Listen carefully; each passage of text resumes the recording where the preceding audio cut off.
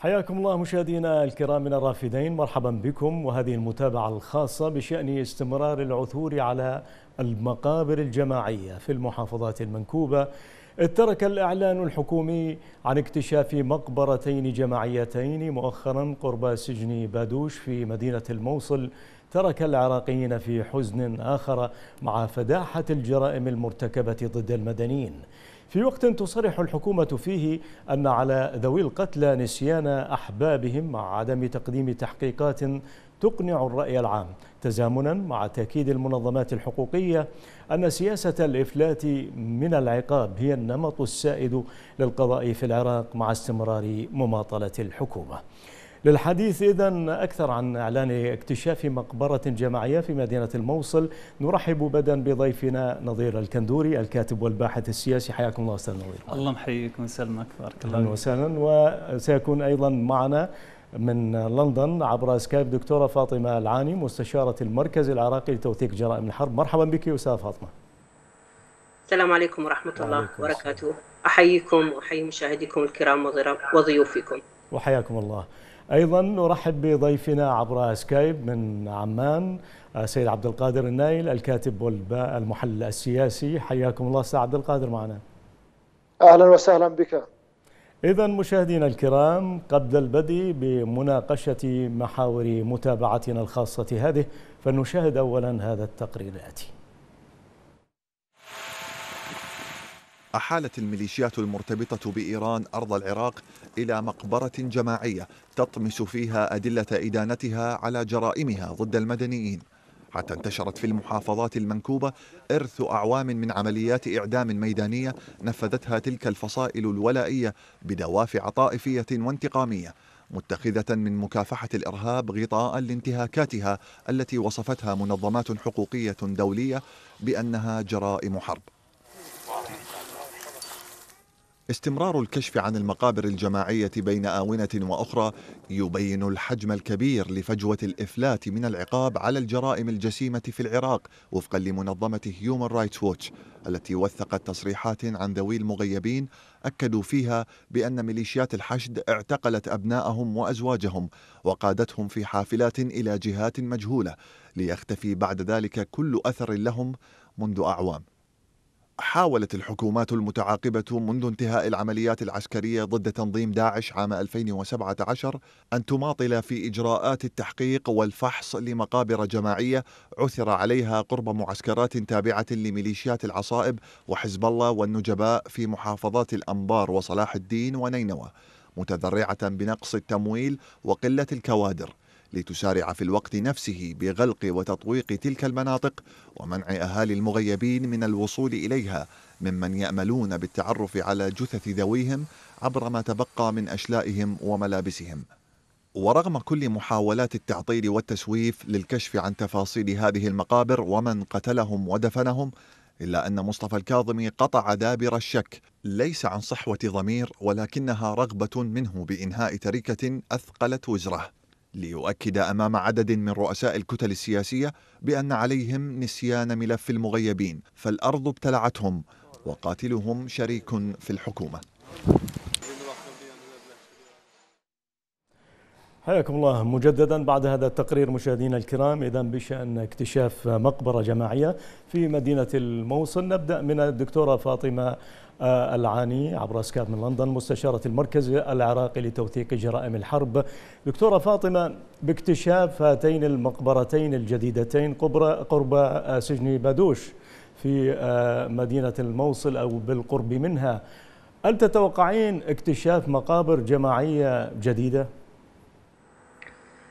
يعني مع الأسف الشديد وبكل ألم نعم أنا أتوقع سوف يتم وسوف تكشف الأيام القادمة عن حجم المأساة الكبيرة التي حصلت أثناء العمليات العسكرية ضد ضد المحافظات صلاح الدين والأنبار ونينوى.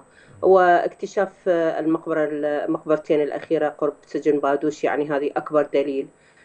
واكتشاف المقابر قرب مدينة الفلوجة. آه، والصور آه، التي آه، والبلاغات التي تأتي إلى المركز العراقي لتوثيق جرائم الحرب عن وجود يعني أماكن احتجاز واحتمال وجود مقابر في هذه الأماكن وأيضا تسريبات التي تأتي من الفيديوهات البشعة لعمليات الإعدام الميدانية خارج إطار القانون. كل هذا يثبت أنه الأيام القادمة تحمل يعني يعني هذه هي الحقيقة يعني الكثير من المآسي. ولكن على الأقل سوف تكشف المجرمين سوف تضع يعني توضح حقيقة ومصير المغيبين في العراق. مما يعني يساعد على على الأقل يعني أن أن تبرد خواطر كما يقولون يعني ذويهم وعوائلهم. نعم. نعم. من هنا أستاذ عبد القادر نايل ضيفنا عبر سكايب من من عمان. هل تعتقد أن هناك يعني مغزى في توقيت إعلان العثور على هاتين المقبرتين؟ أسعد الله أوقاتكم وأوقات مشاهديكم الكرام وضيوفك الأعزاء، من المعلوم تماما أن الحكومة تعمد على إعطاء رسائل في أوقات لا سيما قريب الانتخابات مفادها أنهم عليهم أن ينسوا المفقودين والمغيبين لدى الميليشيات وان المقابر الجماعية هي التي تحوي رفاتهم والكشف عن مقبرة بادوش التي حقيقة يعني القضية كشفت قبل عدة أشهر تم تحديد من بعض الجهات الدولية. هذه القضية سارعت الحكومة لهذه القضية لأن هناك على سبيل المثال تحقيقا في دولة كندا وهناك ضباط كنديين يشهدون على مقابر جماعية. لذلك لم يأتي أيضا رغبة من الحكومة أن تكشف هذه المقابر لولا علمها أن هناك تحركات دولية وأخرى لمراكز حقوق الإنسان ولشهادات أيضا لبعض المنشقين من هذه الميليشيات ومن الأجهزة الحكومية بوجود أماكن مقابر جماعية جرى إعدام جماعي لتلك المواطنين أو لهؤلاء المواطنين الأبرياء. لذلك لها دلالات كثيرة. الحكومة تسارع حتى تقول أنني من أبحث عن المقابر الجماعية لكن الإجراءات واضحة أنها متعاونة وشريك أساسي في تغطية الجريمة. لذلك لو كانوا صادقين لكشفوا عن الحمض النووي لهذه الجثث وتم التعرف عليها من ذويهم حتى يعلموا يعلموا من لمن عائدية هذه الجثث، لذلك هم عندما يذهبون لإخفاء معالم الجثث ومعالم كل ما يجري من عمليات تحقيقات لكشف رفات هؤلاء ولمن عاديتها تؤكد على أن الميليشيات والأجهزة الحكومية الأمنية تقف وراء هذه الجريمة. يعني ليس لأن صعبا عفوا أستاذ عبد القادر الكشف عن لمن تعود هذه الجثث كما أشرتم؟ اولا ليس صعبا لأنه حسب المعلومات الدقيقة التي وردتنا أن هناك لا زالت آثار واضحة على وجوههم وكذلك الملابس موجودة وممكن أن هناك بطاقات تعريفية موجودة يعني عملية البحث لم تجري حتى لم يكلفوا أنفسهم في عملية البحث هذه البدائية تسمى. ثانيا معلوم تماما انه يعني قربها عن أربيل بالإمكان أن تؤخذ عينات الحمض النووي نعم. نعم. وبالتالي يجري عملية فحصها وبالتالي خلال 72 ساعة أو أقل أو أكثر بقليل يمكن إعلان أسماء هؤلاء لكنهم يريدون هم إخفاء هذه الجريمة حتى يلصقوها بداعش لأنهم يريدون حقيقة أن يسوقون أن هذه المقابر الجماعية حدثت هناك.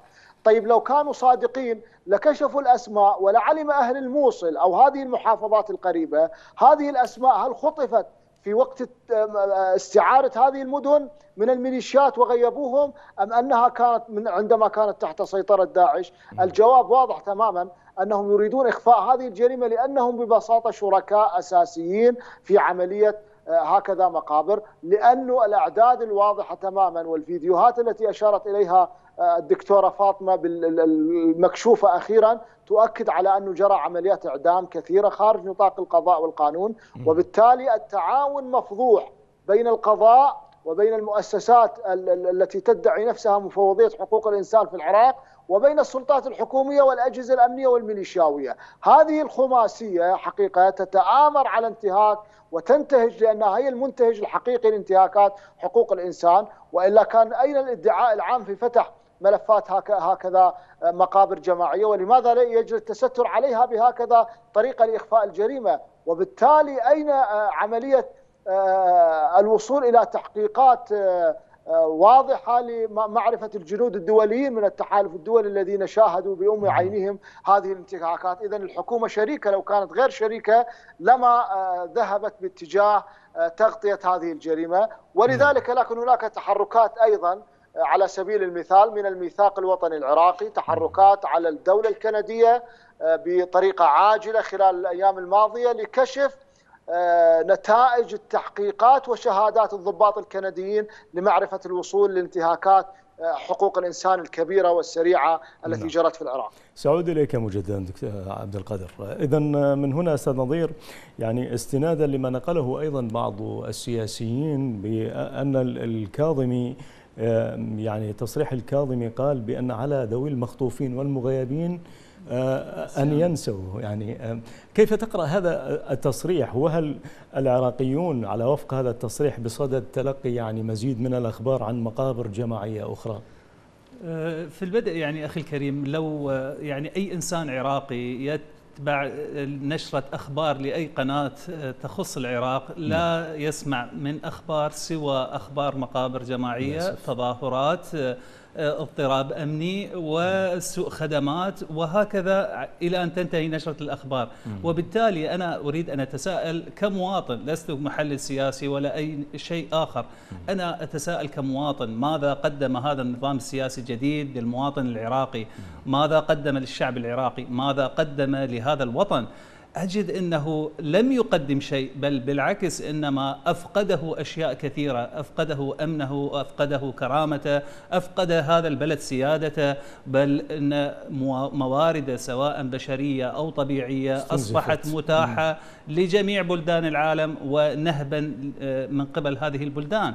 أما في موضوع يعني آه، هذه المقابر الجماعية وكأنما الكاظمي يريد أن يحقق انجازا ليس بمعرفة الحقيقة ومن قتل هؤلاء ومن آه، يعني تسبب في آه، تغييبهم طيلة هذه السنين.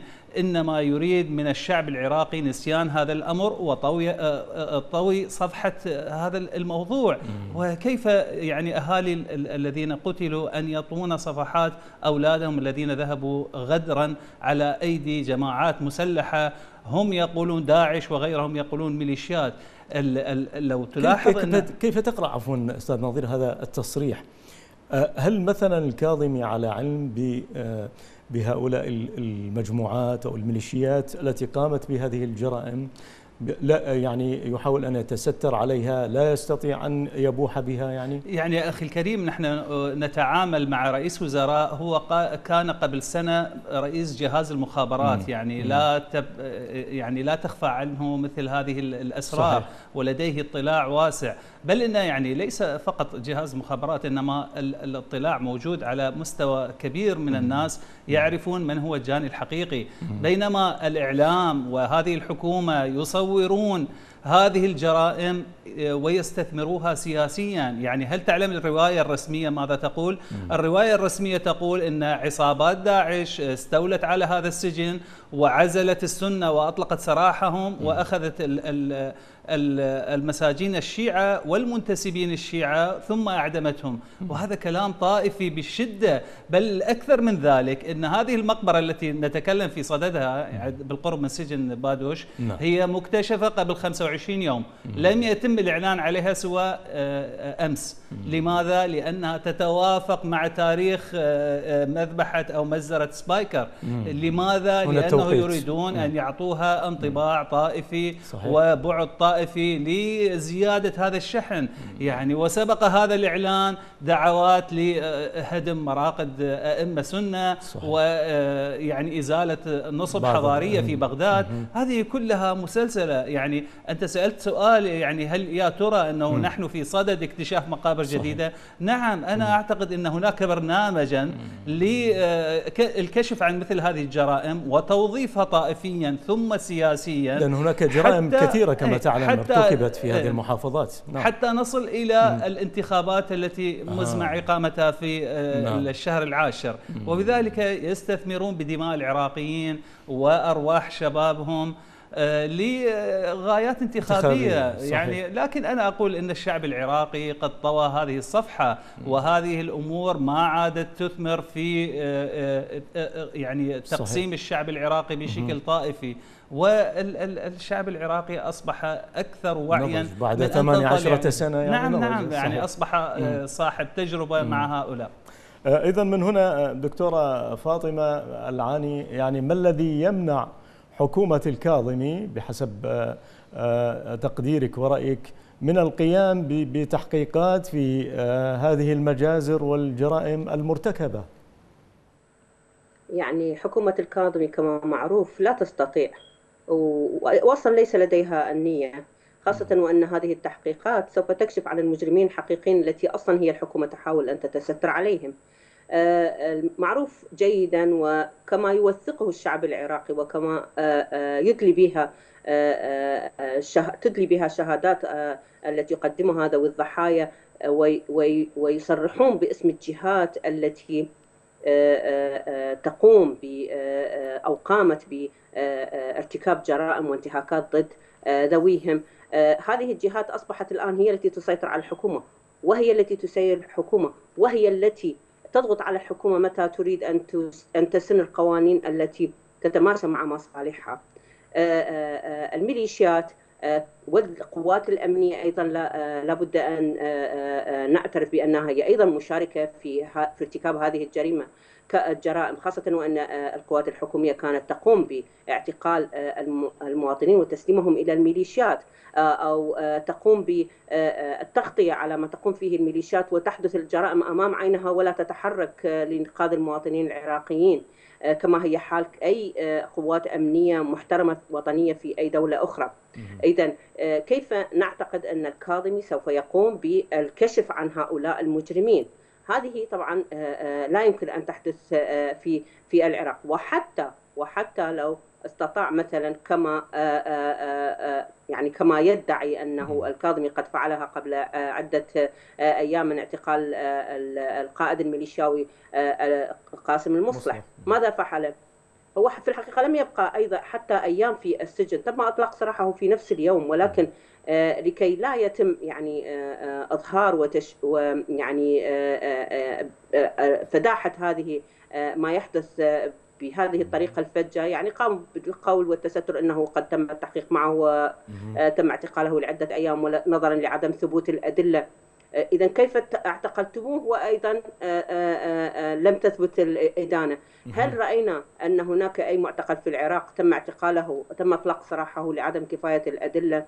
بل يتم تعذيب المعتقلين وانتزاع وانتزاع الأقوال بالقوة والحكم عليهم وإدانتهم بسنوات عديدة أو نعم. تقديمهم إلى مقصله الإعدام يعني شيء يعني في الحقيقة يعني كان واضح أنه مجرد عملية من الكاظمي واعوانه من أجل تهدئة الشعب العراقي خاصة وأنه هو من ارتكب مؤخرا جريمة اغتيال الوزني والعديد من المتظاهرين نعم. ولذلك كان كل ما يريده الكاظمي هو مجرد طيب. كما يقال شو بزنس أمام آه الإعلام نعم. لكي يقول إنه آه آه قد قام باعتقال نعم. آه قائد في الميليشيات رغم أن الميليشيات تتمتع بقوه وغيرها وغيرها وغيرها وهذا في الحقيقة لم يحدث كانت فقط مجرد فرقة إعلامية انتهت بعد آه، ساعات قليلة ورأينا كيف أن الميليشيات اتخذت المنطقة الخضراء وتريد أن تفعل ويعني والشب والسب والشتم كما يعني انتشرت الفيديوهات صح. وهذه حقيقة آه، الميليشيات إذا لا يستطيع الكاظمي وبكل صراحة أن يقوم بأي عمل بل هو أصلا بل هو أصلا منصبه وكما يعترفون بأنهم هم الذين الميليشيات هي التي جاءت بالكاظمي منصبه فقط ليكون ليكون آه، غطاء آه، على جرائمهم ويستمر بتعمية الشعب نعم. العراقي والضحك على دقون ما تبقى من بسطاء العراقيين الذين لا يعرفون الحقيقة لحد الآن أما أغلبية الشعب العراقي كما هو أصبح معروف يضحكون من هذه نكتة اعتقال نعم. أي ميليشياوي لو كان قاسم لو كان الكاظمي يريد اعتقال أي من مرتكبي هذه الجرائم. الفيديوهات الأخيرة الواضحة التي وجوه الميليشيات واضحة وكيف تعدم المدنيين أمام الكاميرات وتصور هذا. لماذا لم يقم باعتقالهم؟ وهذه. الفيديوهات هذه هو, هو عاجز إذن. أصحابها سافرة. نعم. سأعود إليك مرة أخرى دكتورة فاطمة. إذا سعد القادر كيف تنظرون إلى التحقيقات بملفات أخرى حساسة أيضا؟ يعني مثلا اغتيال الناشطين كما ذكرت قبل قليل دكتورة فاطمة أو حتى جرائم أخرى أو انتهاكات مثل غرق عبارة الموصل غيرها من الجرائم والانتهاكات. هل كانت بمستوى تلك الفواجع هل كانت هذه التحقيقات يعني بمستواها؟ اولا لا توجد هناك تحقيقات حكومية إنما توجد لجان تحقيقية للتستر على هذه الجرائم. لوضع شرعنه مخالفات قانونية من خلال طمس معالم الحقيقة. حتى لا يتم إدانة أحد لأن كل الذين يرتكبون الجرائم هم منتسبون إلى العملية السياسية الحالية. وبالتالي إما هم بأجهزة أمنية أو بأحزاب سياسية حالية بالسلطات الحكومية الحالية، لذلك هذه اللجان التحقيقية تعمد على إخفاء الأدلة ولم تبحث عن آه، طريقة ارتكاب الجريمة ولا الجنات بالمطلق، وإلا السؤال الذي يطرح نفسه على هذا الوزن ما الذي فعله الكاظمي وهو في آه، طور تسنمه للسلطة من عام كامل تم مقتل وأنا أسميه اغتيال وليس موتا ل 350 معتقل في السجون الحكومية المعروفة م. التاجي والحوت والمحاجر 355 هذا اللي تم إحصاءه والحكومة ومفوضية حقوق الإنسان الحكومية اعترفت لأن الأهالي آه، نشروا آه، أبنائهم الذين تسلموهم من آه، هذه السجون وهم موتى إما بعملية الفشل الكلوي أو بيع الأعضاء أو ما إلى ذلك من الأمور الأخرى التي من شأنها فضلا على أن هناك معتقلين يموتون تحت التعذيب في السجون الأولية التابعة لوزارة الداخلية والدفاع وجهاز الإرهاب والأمن الوطني. وكذلك الحشد.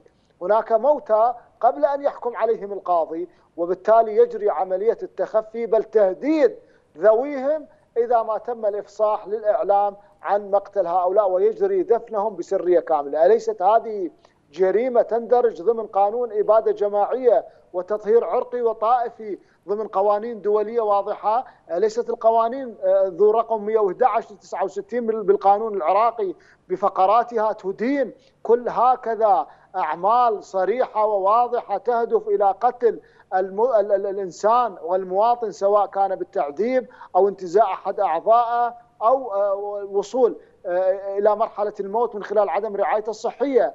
السؤال الذي يطرح نفسه هل حاسب الكاظمي حزب الفضيلة الذي يتربح ماليا من السجون وانتهاكاتها؟ الجواب كلا. إذا من هنا ننطلق على أنهم يريدون شرعنة هذه المخالفات القانونية وبالتالي يذهبون إلى تغطية هذه الجرائم وطمس الحقائق وليس هم يبحثون عن الحقيقة. أستاذ عبد القادر في سؤال أخير قبل أن آه، تغادرنا. يعني تركز آه، جغرافيا هذه المقابر في آه، تلك المناطق في المحافظات تحديدا المنكوبة يعني الشمالية والشمالية الغربية من العراق وحتى الغربية يعني محافظة نينوى التاميم صلاح الدين ديال الأنبار. إلى أي مدى يعني يترك إشارات سياسية لإبقاء هذا التوتر الطائفي مستعرا ربما للبقاء في الحكم أو ربما لمصالح انتخابية كما ذكر قبل قليل آه، أستاذ نظير.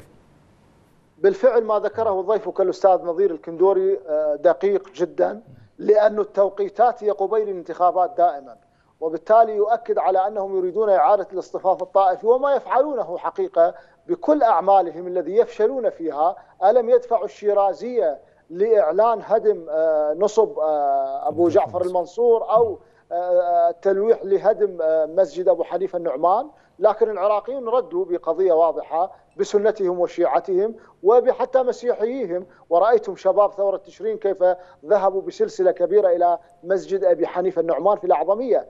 اذا الشعب العراقي واعي لكن هؤلاء يبحثون عن طرق جديدة الأول لتدوير نفاياتهم الطائفية وثانيا حتى يتم خندقة هذه المناطق لإعادة الوجوه التي تشترك معهم بالجريمة مما يسمى ممثلي السنة في العملية السياسية.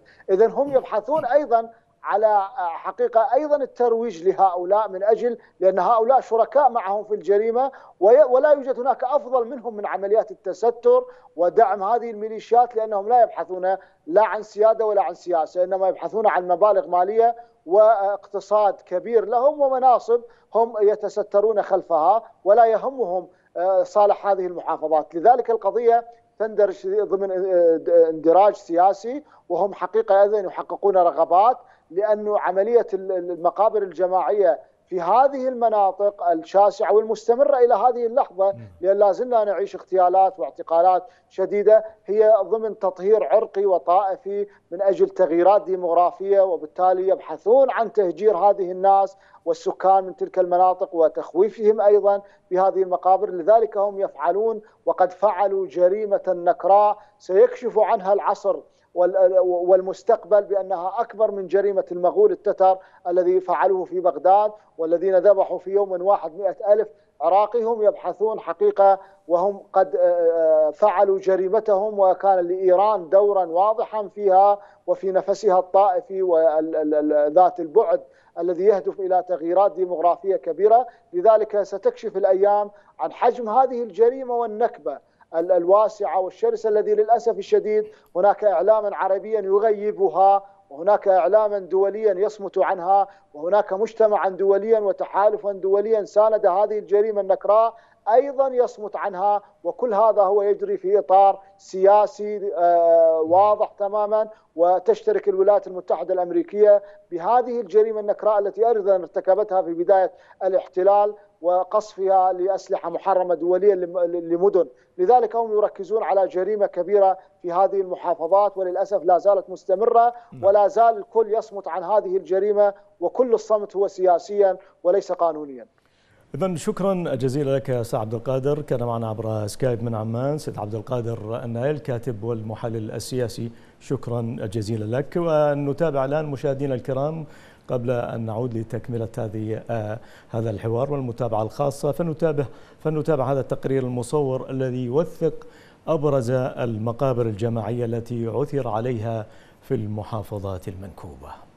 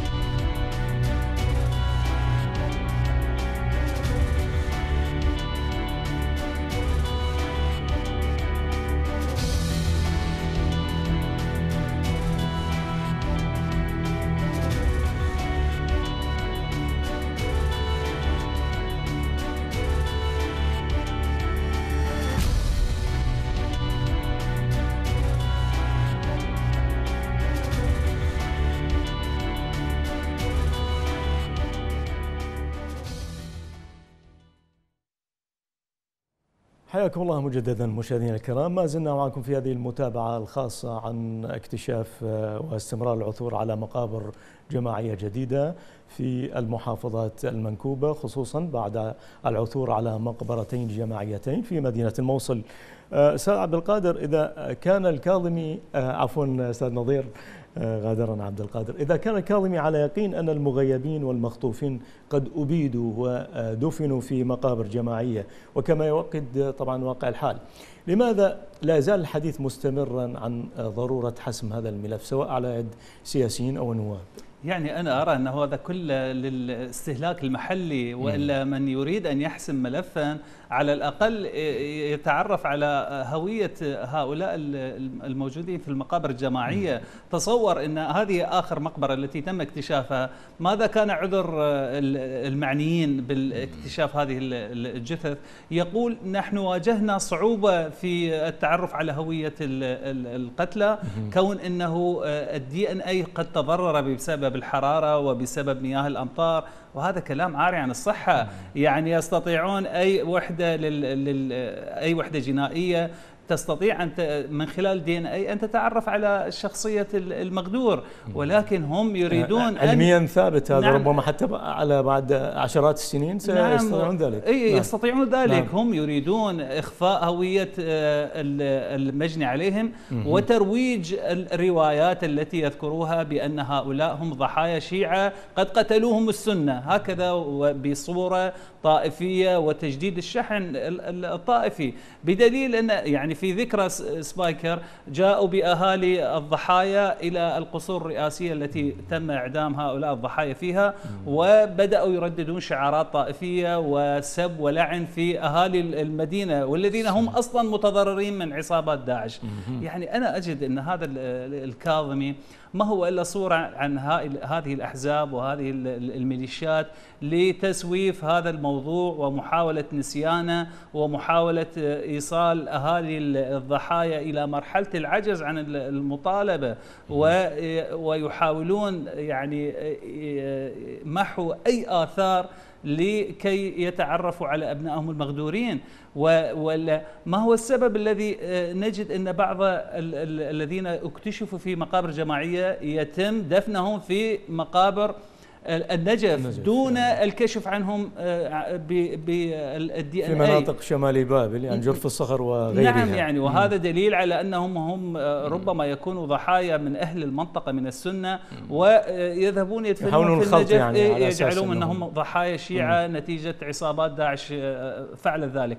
أنا بكلامي هذا لا أبرئ داعش داعش العن ارتكبت جرائم على الجنوب. وارتكبت جرائم واسعة. لم تفرق يعني لكن لكن أنا أنظر لداعش وأنظر انظر للميليشيات بأنهم وجهان لعملة واحدة. بل أنا يعني أصل إلى أبعد من ذلك بأن أقول إن داعش والميليشيات لها راعي واحد هو من يوجه نشاطاتهم. لذلك ترى إن الأعمال التي تقوم بها داعش تتناغم مع آه، آه، أعمال الميليشيات أحدهما يكمل عمل الآخر.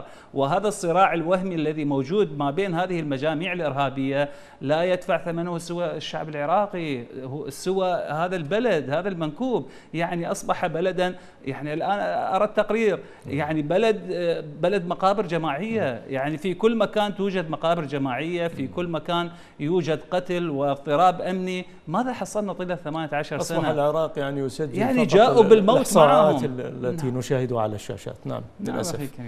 اذا من هنا دكتورة فاطمة على الرغم يعني من اتهامات صريحة من منظمات حقوقية دولية كثيرة أبرزها مثلا هيومن رايتس ووتش لهذه الميليشيات وقوى الإرهاب آه، بقتل مدنيين ميدانيا. ولكن الحكومة تتهم آه، قوى الإرهاب فقط. يعني وتتغافل عن مسؤولية هذه الميليشيات عن تلك المجازر والمقابر كيف تقرأين ذلك؟ نعم يعني في الحقيقة هو لا يمكن إنكار أي جريمة سواء قامت بها آه، آه، أي عصابة إرهابية آه، أو الميليشيات أو حتى القوات الأمنية نعم. يعني مثلا داعش كانت تتفاخر يعني وهي لا تخفي أنها ارتكبت أي جريمة لكن المشكلة هي الجرائم التي ترتكبها القوات الحكومية آه، والميليشيات التي آه، معها التي لم تخضع لحد الآن إلى محاسبة يعني قانونية. يعني داعش دمروها وقتلوهم وكما يقولون آه، عدموا من كانوا يقبضون عليهم من عناصر داعش والباقين الآن يحاكمون في السجون ويأخذون عقوباتهم من إعدام أو كما تدعي الحكومة. ولكن يعني ترك الميليشيات وترك القوات الأمنية التي هي أيضا بدورها ارتكبت جرائم فظيعة أقلها هو القصف العشوائي وتدمير المنازل وهي جرائم حرب وجرائم ضد الإنسانية والإعدامات الميدانية للمدنيين بحجة وبذريعة انتمائهم لداعش. هؤلاء يجب محاسبتهم لأن الجريمة واحدة سواء ارتكبتها قوات أمنية أو ارتكبتها عصابات إرهابية. هذا معناه إن هذه الحكومة وغيرها حتى الحكومات يعني هي ليست فقط الكاظمي وحكومته الحكومات التي سبقتها جميعها تتعامل بصورة طائفية مع الشعب العراقي وتفرق بين أبناء الشعب العراقي. إضافة إلى ذلك فهي تكيل بمكيالين. والذي يعني والضعيف والذي ليس لديه من يسنده سوف يخضع إلى عمليات تعذيب ويتم انتزاع اعترافات ضد ضده بالقوة ومحاكمته وادانته ولكن القوات الأمنية والميليشيات لا يستطيع أحد محاسبتها وهذا في الحقيقة ليس في قوانين ولا في أعراف أي دولة تحترم نفسها، الجميع تحت طائلة القوانين، يعني هذا معناه أيضا انه ليست هناك سلطه سلطات عادلة في العراق وليست هناك سلطات قضائية والسلطات القضائية فقط على الضعيف فقط على يعني الفقير كما يقال. هذا التعامل حقيقه بمكيالين هو يعني الغاية منهم كما هو معروف يعني يعني مصالح اولا مصالح الكاظمي ومن يعني يعتلون مناصب في الدولة المصالح الشخصية ومصالح الميليشيات التي هي كما معروف بولائها لإيران التي تنفذ مشاريعها في في في المنطقة في العراق وفي المنطقة. اذا ما يقوم به الكاظمي وحكومته هو يعني تعزيز الإفلات من العقاب في العراق. هذه من جهة. وأيضا انفاذ مصالح الدول الخارجية في في العراق على حساب طبعا مصلحة الشعب العراقي وعلى حساب الحفاظ على أمن المواطن العراقي على حساب حياة المواطن العراقي على حساب اقتصاد والعقد الاجتماعي في العراق. اذا ما يقوم به الكاظمي هو تنفيذ مشروع يعني استمرار في تنفيذ مشروع تدمير العراق وتدمير المجتمع العراقي لحساب مصالح دول أجنبية، اذا لماذا ولهذا يعني لماذا لا يقوم الكاظمي عن كشف عن المقابر الجماعية؟ والكثير من من الأخبار والكثير من التوثيقات التي تثبت وجود مقابر جماعية أكثر مما الذي تم الكشف عنه، لماذا لا يعني يستطيع أن يصل إلى أماكن تسيطر عليها الميليشيات وهناك تأكيدات على وجود مقابر مناطق يعني متوقع فيها مثلا دكتورة فاطمة أيضا هناك مناطق تتوقعون أن تكون فيها مقابر جماعية نتيجة ما حصل فيها من انتهاكات وجرائم في السنوات أكيد بالتأكيد. يعني خذ على على على سبيل المثال جرف الصخر. نعم.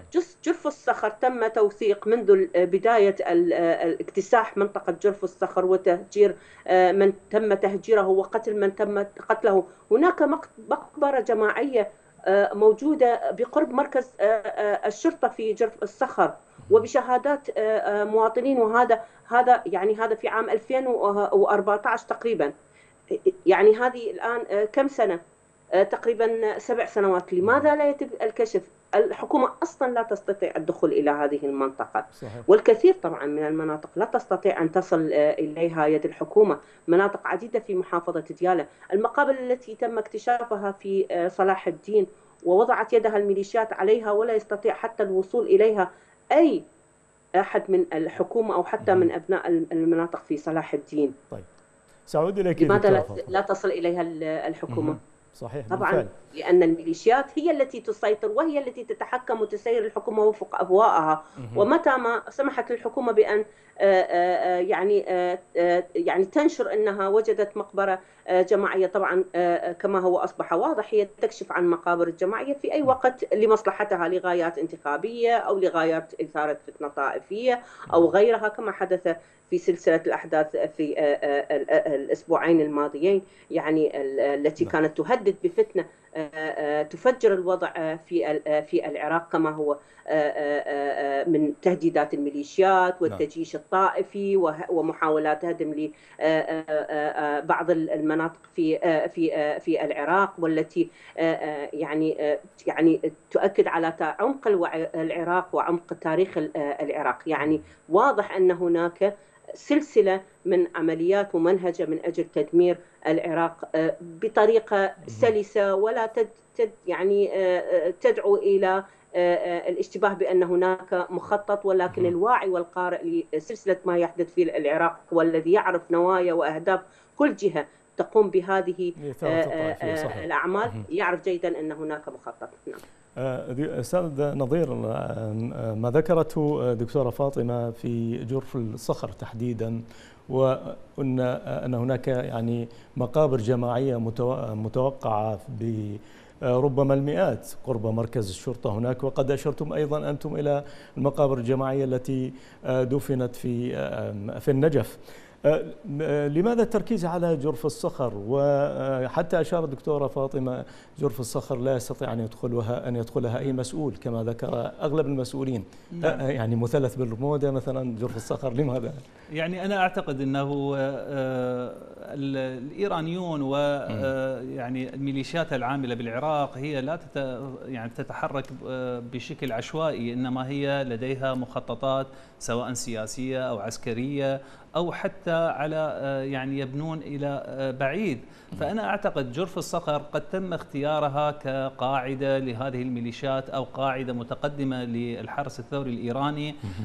من خلاله هي تتصدى لكل المخاطر وأنا في تصوري هي قاعدة متقدمة موجهة ضد دول الخليج لأنهم موقع مهم في الفرات الأوسط نعم. يعني تفصل وتكون نقطة فاصلة ما صحيح. بين المناطق ذات غالبية سنية وذات غالبية شيعية. صحيح وبالتالي إن هذه المنطقة يعني أعتقد إنهم لن يتنازلوا عنها لأنهم وصلوا إلى مراحل عديدة فيها بل لا. إن كلام الكاظمي يفهم منا عندما قال انسوا المغيبين يفهم منا بأنه لديه علم بأن جميع المغيبين قد تم تصفيتهم ولا يوجد أحد الآن في سجون سرية، الجميع تم تصفيته وبالتالي هو يحاول أن يغلق هذا الملف. عسى أن لا يصل إلى مرحلة تدويله لأنه إذا تم تدويله سيؤثر عليه ويؤثر على باقي الأحزاب المشاركة صحيح. في هذه الجرائم. فاللي اعتقد أنه كل هذه محاولات. يعني بدلا من أن تكون النقاط عليهم هم يستثمروها لصالحهم سواء من ناحية انتخابية سواء من ناحية تأجيج بخصوص التدويل. عفوا أستاذ نظير ذكرت التدويل.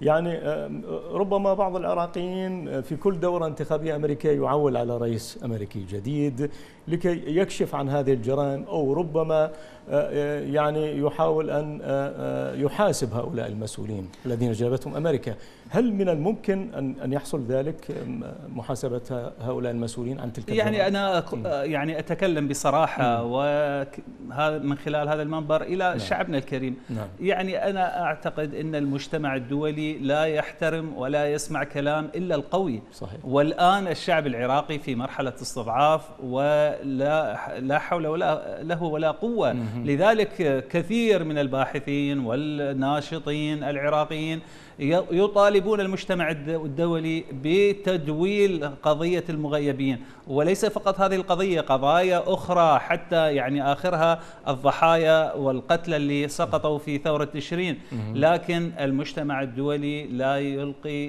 بالا إلى هذه المطالبات. لماذا؟ لأن الطرف المستضعف في هذه المعادلة هو الشعب العراقي. لكن متى ما استطاع أن يكون الشعب العراقي هو ورقة قوية وضاغطة على النظام بل ضاغطة على المجتمع الدولي.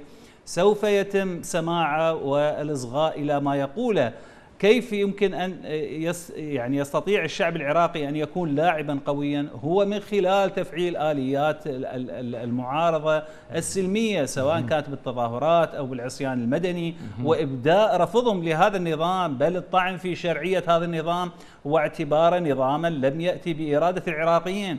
هذا من يجعل الشعب العراقي رقما صعبا في كل هذه المعادلات صحيح. وهو من يجعل النظام العالمي يصغي إلى ما يريد شعبنا وإلا فإن الطرف الضعيف لا أحد يصغي إليه ولا أحد يسمع منه أنا أعتقد أن هذه الأمور آه، ربما ستتكرر الميليشيات ربما سترتكب جرائم كبرى وربما تفتح مقابر جديدة لضحايا جدد صحيح. إلا إذا وقف الشعب العراقي وقفة يعني قوية أمام هذا النظام وجرائمه لكي يضع حد لهذا المسلسل يعني. إذا من من هنا آه، دكتورة فاطمة أمام هذه الاكتشافات المتواصلة لمقابر جماعية في مناطق مختلفة من العراق وعدم وجود تحقيقات رصينة فيها إلى أي مدى آه، يكرس هذا أن أن سياسة الإفلات من العقاب يعني أصبحت نمطا سائدا؟ نعم بالتأكيد. يعني آه، سياسة الإفلات من العقاب وعدم محاسبة المجرمين وتركهم يعبثون يعني أصبحت يعني معروفة معروف العراق بهذا حتى أمام المجتمع الدولي. وهذا الحقيقة يعني يرتكز على أسس يعني موجودة في العراق. يعني الإفلات من العقاب أولا نتيجة ضعف الحكومة وضعف السلطة القضائية. الحكومة سلطة والسلطة القضائية سلطة أخرى. كيف لا يكون هناك أي دور لهاتان السلطتان في يعني الحد من هذه الجرائم؟ بل إن الجرائم مستمرة لحد الآن والمجرمون يعني يستطيعون أن أن يرتكبوا ما يشاءون متى ما يريدون. والجرائم متعددة قتل اغتيال تغييب قسري تعذيب مختلف مختلف أنواع الانتهاكات. هناك غياب واضح للسلطة القضائية. السلطة القضائية مسيسة كما هو معروف في في العراق. لا تستطيع حتى إصدار مذكرات اعتقال يعني ولنأخذ مثل بسيط. يعني الاقتحام الأخير أو غيرها من الاقتحامات للمنطقة الخضراء التي هو يعني على الأقل على الأقل يعني إخلال بهيبة الحكومة العراقية، على الأقل تصدر مذكره اعتقال ليوم أو يومين احتجاز يعني على أصولية لعناصر ميليشيات حفاظا على هيبة الدولة. نعم. يعني آه، هذا هي أبسط أبسط أبسط آه، شيء يمكن أن تقوم به آه، الحكومة لا تستطيع أن تقوم به. الكاظمي الكاظمي لا يستطيع حتى أن يداهم أي منطقة تصله أخبار أن هناك سجون سرية فيها.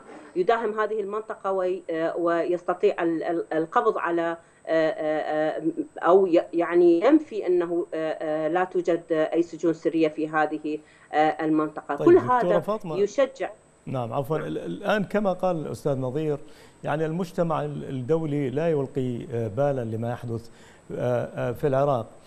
كيف من الممكن تفعيل آه، يعني أو إلقاء الضوء على هذه الجرائم لغرض محاسبة مرتكبيها. أنتم مثلا في المركز العراقي لتوثيق جرائم الحرب أيضا تحدث حتى قبل قليل أستاذ عبد القادر عن دور الميثاق الوطني في آه، يعني ولو المحاولة في في تسليط الضوء عن آه، على هذه الجرائم. يعني في الحقيقة يعني يعني هناك تحركات. الشعب العراقي بمختلف طوائفه بالأقل عن طريق التوثيق والتواصل مع مختلف المنظمات الحقيقة يتحرك. كما ذكرت يعني آه، الميثاق الوطني العراقي هناك تواصل مستمر مع مختلف الجهات الدولية بالنسبة لنا في مركز العراقي لتوثيق جرائم الحرب هناك تواصل مع الكثير من الجهات الدولية من أجل عن طريق إرسال الرسائل عن طريق الانتماء والعضوية في بعض عن طريق التعاون مع المنظمات الدولية التواصل بالمعلومات يعني الكثير من يعني التحركات الآن الموجودة والفعلية والحقيقية والتي بالتأكيد سوف تثمر نتائج. لا يمكن لأي تحرك أن لا يثمر أي نتيجة. يعني يعني التواصل مثلا مع المنظمات الدولية عن طريق إيصالهم إلى الحقيقة. كشف كل ذلك لهم مطلوب. عن ما نعم. نعم, نعم. مناقشتهم آه تقديم وجهة نظر مختلفة عما تحاول الحكومة وميليشياتها ظهارها آه للعالم لا ننسى أن طريقة الحوار نعم. آه طريقة المناقشة تقديم آه، آه، يعني آه، أدلة وبراهين أن هناك ما يجري نعم. في العراق سوف يجري بهذه الطريقة نعم. وبهذه الطريقة وبهذه الطريقة وتصدق رؤيتنا في الحقيقة شكرا. هذا يعزز الثقة بين هذه المنظمات ومع الجهات الوطنية التي تحاول إيصال ما يحدث في نعم في العراق بنظرة عراقية خالصة شكرا نعم. جزيلا لك عبر سكايب من لندن دكتورة فاطمة العاني مستشارة المركز العراقي لتوثيق جرائم الحرب في أقل من نصف دقيقة اذا أستاذ نظير باكتشاف هذا العدد الكبير المتواصل من المقابر الجماعية نختم بالتساؤل الاتي هل تحول العراق إلى أكبر مقبرة جماعية في في التاريخ الحديث؟ والله أنا أعتقد إن الفترة التي آه، عشناها من 2003 ولحد الآن نعم. ربما هي آه، يعني أنا برأيي هي أغرب فترة مر بها العراق بسبب الجرائم التي ارتكبت بسبب طريقة إدارة الحكم وبسبب هذا التمزق للنسيج الاجتماعي. يعني لم يمر في تاريخ العراق سواء الحديث ولا ربما حتى القديم. فترة مظلمة سوداوية كالفترة التي عاشها. وأقول وكلامي موجه إلى العراقيين آه، جميعا بأن هذه الفترة ربما ستكون غير محدودة إذا لم يعني يبرم الشعب العراقي أمره في وقف هذا الحالة السوداوية. وإذا لم يعني يأخذ بزمام الأمور ويقلب هذا النظام ويستبدله بنظام منبثق من الشعب العراقي ممثلا لآماله وطموحاته فإن هذا المسلسل سوف يستمر وسوف نكتشف مقابر جماعية أخرى وسوف يسقطون ضحايا آخرين. والمسلسل الجرائم لن يتوقف إذا لم يوقفهم الشعب العراقي. شكرا جزيلا لك أستاذ نظير كندوري الكاتب والباحث السياسي. حياك الله. شكرا لكم مشاهدينا الكرام وإلى اللقاء.